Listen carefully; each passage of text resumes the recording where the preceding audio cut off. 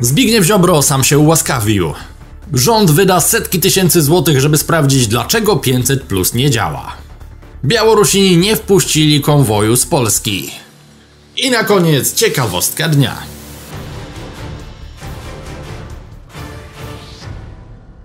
Ja się nazywam Maciej Podstawka, dzień dobry, tak z samego rana, może nie będę wam przynudzał, jest 6.30, zatem tylko subskrybujcie ten kanał i zapraszam do pierwszego newsa. Nie były podejmowane. Traktat Unii Europejskiej wyraźnie stanowi, że mm, Komisja Europejska i wszystkie organy Unii Europejskiej mają obowiązek szanować e, Prokuratura po cichu umorzyła śledztwo w sprawie podejrzenia defraudacji unijnych pieniędzy przez partię Zbigniewa Ziobry. Chodzi o to, że Solidarna Polska urządziła partyjny zjazd, twierdząc, że jest to kongres klimatyczny, bo dzięki temu dostała pieniądze z Parlamentu Europejskiego. W uzasadnieniu umorzenia, które posiada Onet, prokuratura przekonuje, że na konwencji partii Ziobry pojawiły się tematy dotyczące klimatu. Nie wiadomo jednak kto i kiedy miał je poruszać. W listopadzie 2016 roku dziennikarze Newsweeka Wojciech Cieśna i Michał Krzymowski ujawnili, że partia Zbigniewa Ziobry Solidarna Polska urządziła partyjny zjazd za pieniądze Parlamentu Europejskiego przyznawane przez Kongres Klimatyczny. Wydarzenie miało miejsce w 2013 roku w kinie Kijów w Krakowie. Impreza dotyczyła krajowej polityki, ale w rocznym raporcie unijnej prawicowej międzynarodówki Ruch na rzecz Europy Wolności i Demokracji, w której działa partia Ziobry Ziobry opisano ją jako konferencję klimatyczną, dzięki temu Ziobro i jego ludzie mogli sfinansować imprezę ze środków unijnych. Dziennikarze przedstawili też kilkanaście zastanawiających płat na Solidarną Polskę. Bliscy Zbigniewa Ziobry w latach 2012-2014 przekazali partii aż 437 tysięcy złotych. Brat Witold wpłacił 107 tysięcy złotych w sześciu przelewach, mama Krystyna 110 tysięcy złotych w czterech ratach, a żona żona Patrycja 81 tysięcy. Z kolei teściowa Wanda i Leszek Koteccy przekazali aż 139 tysięcy złotych. Wśród darczyńców znalazła się też przykład 20-letnia córka Jacka Kurskiego, która w tygodniu przed wyborami dokonała trzech przelewów na 42 tysiące złotych. Natomiast sprawa niejasności transakcji partii Meld była częścią większej międzynarodowej afery. Media w Danii odkryły, że duńska partia ludowa za pośrednictwem Meld zdefraudowała setki tysięcy euro z Parlamentu Europejskiego. Śledztwo w sprawie działań Meld wszczęła nawet Unijna Agencja do Spraw Przeciwdziałania Praniu Brudnych Pieniędzy. Pod koniec stycznia 2017 roku prokuratura okręgowa w Warszawie wszczęła śledztwo w tej sprawie. Nie dotyczyło ono jednak tylko Solidarnej Polski. Okazało się, że pro prokuratura postanowiła włączyć się też do śledztwa podobne imprezy organizowane przez PO, PSL, Lewicę, a nawet PiS. Śledztwo trwało 3 lata. Pod koniec października 2019 roku prokuratura postanowiła je po cichu umorzyć. Na początku śledztwa tego roku Onet złożył wniosek o dostęp do akt tej sprawy. W odpowiedzi prokuratura okręgowa w Warszawie, strategiczna jednostka Ziobry, napisała Onetowi, że przeglądanie akt zakończonych postępowań przygotowawczych przysługuje jedynie stron postępowania, a akta sprawy jako zbiór materiałów same w sobie nie stanowią informacji publicznej. Szkopu w tym, że sprawa nie dotyczy prywatnych podmiotów podmiotów, tylko partii politycznych, których finanse są wszak w Polsce jawne. Kształtowanie własnych opinii, e, przekonań i poglądów, które nie mogą być w żaden sposób cenzurowane i nie może być na nie wywierana żadna presja. Dobra, przesadziłem z tym tytułem. Sądownictwo istnieje w Polsce, ale tylko w przypadku zwykłych obywateli, którzy przez przypadek za bardzo się wychylili, no bo...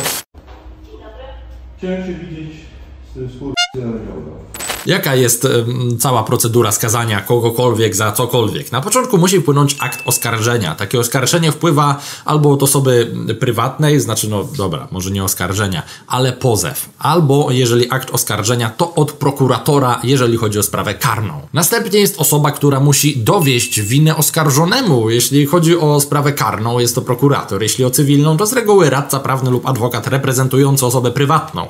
I właśnie dlatego zarówno sądownictwa, jak i prokuratura powinny być całkowicie niezależne od władzy, bo jeżeli rząd ma prokuraturę, to po prostu może umarzać każdą niewygodną sprawę pod byle pretekstem. Jeżeli oskarżycielem jest właśnie prokuratura, prokurator nie może być posłem ani tym bardziej ministrem. Tego zabrania sama konstytucja. Dlaczego zatem Zbigniew Ziobro jest prokuratorem generalnym i ministrem sprawiedliwości w jednym, będąc jednocześnie najlepiej opłacanym politykiem w Polsce, bo zgarnia jeszcze pensję prokuratora? No cóż, on to tłumaczy tym, że prokurator generalny to tylko taka nazwa, a formalnie prokuratorem nie jest. Także tego. Jeżeli oskarżycielem jest osoba prywatna, a sprawa jest cywilna, no to prokuratura nic nie ma do powiedzenia. Chociaż tutaj też zależy, bo i w cywilnych Ziobro wraz z kolegą Święczkowskim lubią się wtrącać, a wiem to niestety z autopsji. Tak czy inaczej, w temacie mowa jest nie o postępowaniu cywilnym, tylko o postępowaniu przeciwko partii, przeciwko politykom z obozu władzy, więc oskarżycielem nie jest osoba prywatna, tylko właśnie prokuratura. Więc de facto sądownictwo w kontekście rządu nie istnieje. Dlatego pozostaje nam tylko wiara, jak to napisał Artur Abramowicz na Facebooku, na podstawie aneksu do Ewangelii Łukasza, błogosławieni ci, którzy respiratorów i maseczek za 200 milionów nie widzieli, a uwierzyli. Fajnie, co? Ale nie martwcie się, jeżeli wy zostaniecie złoczyńcami, no to sądy z pewnością zadziałają perfekcyjne. Znaczy, na pewno wylądujecie w areszcie. Ale spoko, bo prokuratura to nie jedyna rzecz, która nie działa. Jeden z najważniejszych programów PiSu również nie przynosi zamierzonych efektów.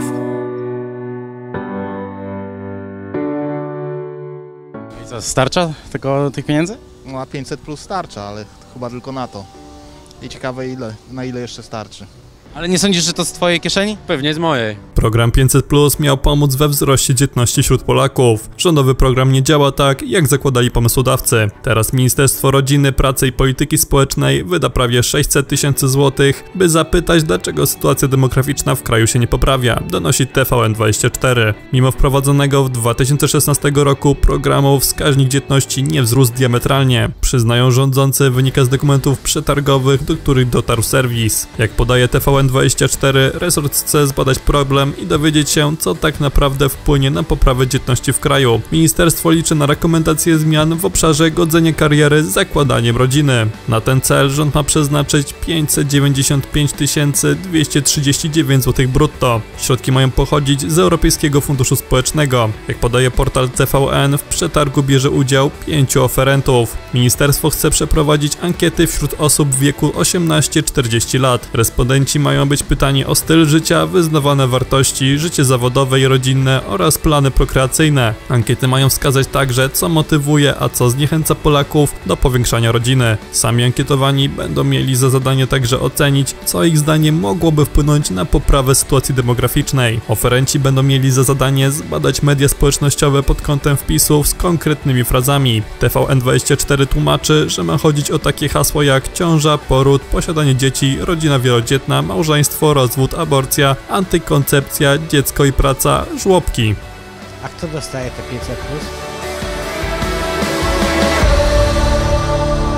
Tego newsa podesłał nam Sławek Jed na naszej grupie facebookowej. Dzięki Sławek, ale dobra, może takie sprostowanie. To nie jest tak, że 500 plus nie działa w ogóle. Tylko nie działa w kontekście zwiększenia dzietności, czyli w zasadzie w tym zakresie, w którym miało zadziałać najmocniej. Wiecie, program ten w dużym stopniu pomaga najuboższym rodzinom w jakimś podstawowym aspekcie, typu zapewnienie chociażby jedzenia, bo 500 zł to nawet w Warszawie spokojnie wystarczy, żeby wyżywić miesięcznie no, jedną osobę dorosłą i nie mówię tu o jakimś oszczędzaniu, tylko normalnie normalnie raz na jakiś czas wyjść na obiad na mieście i lepszej jakości produkty kupować w markecie. Za 1000 zł na dwójkę dzieci bez jedzenia na mieście to praktycznie odpada Wam potrzeba wydawania na jedzenie czegokolwiek ponad to 500+. Plus. No to ten program sprawdził się w tym konkretnym zakresie, bo skrajne ubóstwo, czyli takie, które zagraża już życiu i zdrowiu, zmniejszyło się o połowę z 600 do 300 tysięcy dzieci. Dlaczego w ogóle dalej to funkcjonuje i rodziny opiekują się dziećmi, kiedy taka opieka zagraża im biologicznie? No cóż, nad tym debatowaliśmy już z Anią w jednym z materiałów. Tutaj macie materiał oraz fragment. A jeszcze to zdjęcie takie, nie wiem czy je widziałaś w ogóle, ale... Trzaskowski taki oburzony? Tak, Trzaskowski oburzony, a wszystko pod okiem e, Lecha Kaczyńskiego. Aha, że obraz. Film trafił nawet do karty na czasie, zatem zapraszam serdecznie, bo jest naprawdę ciekawy. Także jak już powiedziałem, rodzice nie muszą martwić się o chociażby najbardziej podstawową sprawę, jaką jest jedzenie. Są i sprawy z drugiej beczki, bo wraz ze wszystkimi plusami oraz zwiększeniem minimalnej ponad normę, maksymalnie na skalę europejską wypłaszczyliśmy wynagrodzenia. No ale dobra, wiadomo, że w dużym stopniu 500 plus miało również poprawić demografię, a jak wiadomo, wiadomo, ten cel nie został szczególnie spełniony. A dlaczego? Skoro rząd nie wie i chce wydać tyle tysięcy na odpowiedź na to pytanie, to ja tym bardziej nie chcę nawet strzelać, ale mogę spekulować. Możliwe, że jest to sprawa związana z tym, że przyczyną ograniczonej reprodukcji nie są pieniądze. Może nie chodzi tutaj tylko o to, że ludzie mają mało, tylko tak jak to widać w krajach rozwiniętych, jest to kwestia zmiany priorytetów. Ludzie wolą rozwijać się zawodowo, robić pieniądze, jeździć w ciepłe kraje, na wakacje, wychodzić ze znajomymi na browara, a nie siedzieć w domu, płacić i wychowywać swoje dzieci. To jest ciężka robota, jakby nie było, która dodatkowo pociąga za sobą olbrzymie koszty, nie tylko w aspekcie finansowym, ale również i wyrzeczeń. Ale może jest sposób, w jaki rząd taki problem mógłby rozwiązać? Nie wiem, może sztuczna inteligencja wychowująca dzieci? Curious. I got lost. The good kind of lost. I saw sights and sounds I had no words to describe. No dobra, w tym filmie akurat nie skończyło się to najlepiej. E, może przejdźmy do następnego tematu.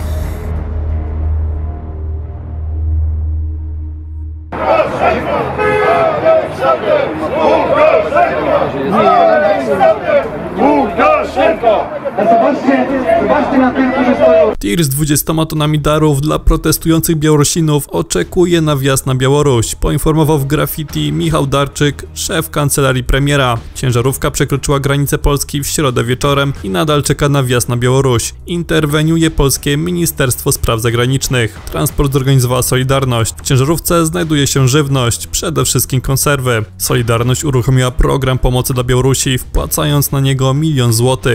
Jako związek zawodowy jesteśmy zobowiązani do takiej pomocy, tak jak kiedyś 40 lat temu pomagali nam inni z różnych części świata, gdy walczyliśmy o wolność i demokrację, mówił w środę Marek Lewandowski z Solidarności. Dary miały dotrzeć do Mińska. Niestety tak się nie stało. Na granicy polsko-białoruskiej stoi konwój humanitarny wysłany przez Solidarność. Nie może wjechać, zatrzymali go Białorusini. Przekazał w graffiti w Polsat News Michał Darczyk, szef kancelarii premiera. Dodał, że nie ma oficjalnego uzasadnienia takiej decyzji. Rozwijamy programy pomocowe dla naszych wszystkich sąsiadów. Ostatnio premier podał decyzję o przywróceniu normalnego działania konsulatów i wydawania wizy. Do tej pory były wydawane tylko osobom, które przyjeżdżały do Polski Polski w celach służbowych lub humanitarnych. Teraz konsulaty w trybie ułatwionym będą wydawały Białorusinom wizy, przekazał minister Dworczyk. Ministerstwo Spraw Zagranicznych interweniuje u władz Białorusi wskutek zatrzymania zorganizowanego przez Solidarność transportów ze wsparciem dla strajkujących Białorusinów, poinformował wiceszef ministerstwa Paweł Jabłoński. Wiceminister powiedział, że rozmowy trwają, a strona polska oczekuje przepuszczenia transportu. W tym roku wysłaliśmy dwa bardzo duże konwoje na Białoruś z pomocą humanitarną w związku związku z Maurycem. Był to sprzęt medyczny, środki ochrony, leki. Nie było żadnych problemów z tamtymi transportami. Jeżeli teraz Solidarność udziela wsparcia, nie widzimy problemu, dla którego tego rodzaju pomoc miałaby być odrzucona przez władze Białorusi. Traktujemy to jako działanie niepożądane w stosunkach dwustronnych, powiedział Jabłoński. Zapewnił też, że pomoc Solidarności nie jest działaniem politycznym, jest wsparciem społeczeństwa białoruskiego, tak samo jak wsparciem dla społeczeństwa były poprzednie konwoje, dodał.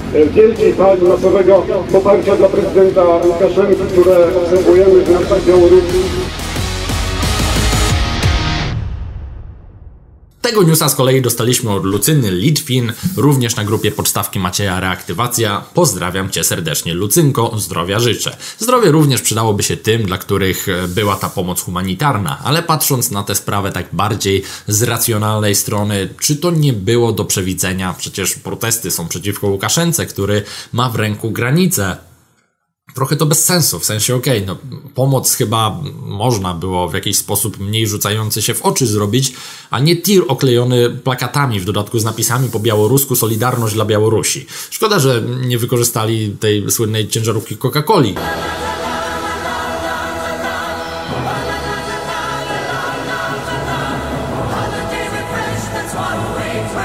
Lub tej z Warszawy. Co ci ludzie mają w baniach? Znaczy dobra, rozumiem również, że jak się robi jakąś akcję fajną, która ma na celu niesienie pomocy, no Wracając, no wiadomo, że jak się robi jakąś fajną akcję, która ma na celu niesienie pomocy, to dobrze byłoby, gdyby ludzie o tym wiedzieli. W ten sposób robi się takie zaufanie społeczne i za jakiś czas, jak znowu będzie coś podobnego się robić, no to może więcej osób zbije się na tą akcję, ale może nie w tej konkretnej sytuacji. W tej sytuacji dobrym wyjściem na pewno jest chyba przejście do ciekawostki dnia. People were losing money hand over fist in the market, millions lost their jobs and their homes. Trust in Wall Street was at its lowest point in memory. Ceny modnych aktywów, takich jak na przykład akcje Tesli, skaczą bardziej niż innych, m.in. z powodu zainteresowania ze strony nowego pokolenia inwestorów. Coraz więcej młodych inwestorów w USA zarabia bądź traci duże pieniądze wykorzystując aplikacje takie jak Robinhood. W tym roku ta apka pozyskała przynajmniej 3 miliony nowych użytkowników, a z analiz wynika, że są to przede wszystkim milenialsi. Jeżeli przeanalizujemy zachowanie inwestujących przez firmę Robinhood, to okazuje się, że ich decyzje są jak najbardziej spekulacyjne. Mówi w rozmowie z Market News 24 Łukasz Wardyn, dyrektor CMC Markets na Europę Wschodnią. Zmienność na akcjach, w które inwestują gwałtownie rośnie. Skąd popularność Robinhooda? Aplikacja reklamuje się, że głównie na amerykańskich aktywach umożliwia bezprowizyjne przeprowadzenie transakcji. To jednak nie do końca prawda. Inwestowanie nie odbywa się w 100% bezkosztowo, ponieważ oparte jest na różnego rodzaju abonamentach. Trzeba jednak przyznać, że opłaty są niskie. Według mnie ważniejszy jest przy tym model działania, który trafi do nowego pokolenia inwestorów, wyjaśnia ekspert CMC Markets. Innowacyjne technologie, takie jak nowoczesne platformy transakcyjne czy aplikacje mobilne, ułatwiają dostęp do rynków kapitałowych, zachęcając pokolenie cyfrowych tubylców do zainteresowania się giełdą. Podobnych wzrostów doświadczają inni brokerzy, nie tylko na rynkach akcji. Skokowy napływ inwestorów w tym roku wynika z dużej zmienności na rynkach. Spadki, później dynamiczne odbicie, a teraz doświadczamy imponującej kontynuacji wzrostów. Dzisiaj można podsumować, że zwiększone zainteresowanie giełdą może być wynikiem rekordowo długiej, wieloletniej hossy. Indeksy giełdowe w USA są na szczytach i być może właśnie teraz mamy do czynienia z ostatnią spekulacyjną falą hossy, którą wieszczą analitycy, dodaje Warden. Today's Robinhood, the app, is founded by two people who were fed up with the way you had to trade. Or at least they knew others were fed up. Gdy wychodziły na rynek tego typu aplikacje do inwestowania, to pojawiła się krytyka, że zepsuje to rynek ze względu na to, że przyciągnie niedoświadczonych inwestorów, którzy naoglądali się poradników na YouTubie. Przez co ci, którzy robią to właściwie, nie będą mogli inwestować na podstawie analizy, bo ci spekulanci wszystko psują.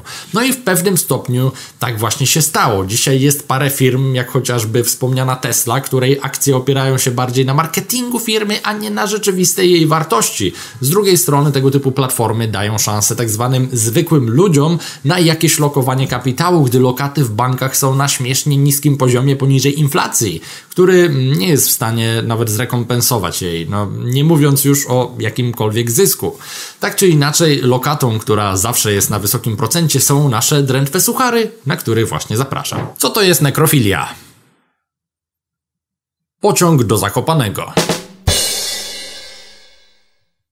Tego drętwego suchara podesłał nam Lukasz Glab na naszej grupie facebookowej Podstawki Macieja Reaktywacji, za co serdeczny szacun i oczywiście otrzymujesz od nas złote zakopane. A jeśli i ty chcesz dostać złotą starą etykietę, koniecznie napisz swojego suchara w wiadomości na naszej grupie facebookowej Podstawki Macieja Reaktywację, za co już z góry Ci bardzo serdecznie dziękuję. No i może nie będę już przy, przynudzał, zapraszam tylko na nasz całkowicie nowiuteńki kanał Co Mówią, na którym co piątek o godzinie 17 wypuszczamy najświeższą dawkę newsików, a tutaj zamiast muzyki końcowej macie fragment jednej z sąd ulicznych ostatnich, gdzie zapytaliśmy Polaków o to, czy dzieci w szkołach powinny nosić maseczki na lekcjach i czy w ogóle powinni wracać 1 września? Jeśli zawsze Was to interesowało, e, co o tym myślą tak naprawdę Polacy, no to zapraszam serdecznie do tego filmu. Zaraz poleci fragment i link też będziecie mogli sobie kliknąć. Trzymajcie się ciepło, no i do zobaczenia na Co Mówią. Ja noszę 8 godzin w pracy i jest to denerwujące. Nie wyobrażam sobie więc, żeby dzieci miały, nie wiem, przykładowo 6-7 godzin wytrzymać w maseczkach. A ty jak sądzisz? Bardzo podobnie, bo e, to jest bardzo niezdrowe siedzieć w tych maseczkach non-stop tyle godzin. E, więc nie potrzebujemy jeszcze dodatkowo grzybicznych chorób płuc u dzieci, prawda? Nagle tyle dzieci będzie chorowało na płuce? No nie, niekoniecznie. Ale przecież my nie lubimy dzieci, to może nie chorują, to wtedy będzie ich mniej. A mówisz, żeby się pozbyć? Tak. To niech noszą maseczki, tak, to poumierają i będzie ich mniej.